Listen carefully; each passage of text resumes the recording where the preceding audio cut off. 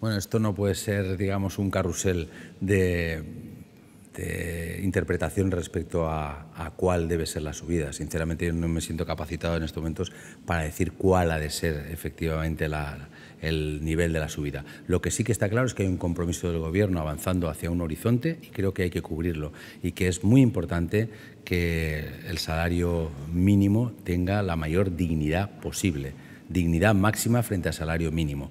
Y por tanto creo que el, camino que, se está introduciendo por parte del Gobierno de cumplir con los compromisos para avanzar con, el, con un salario mínimo cada vez más digno me parece absolutamente eh, reseñable y desde luego lo apoyo sin ningún tipo de fisura.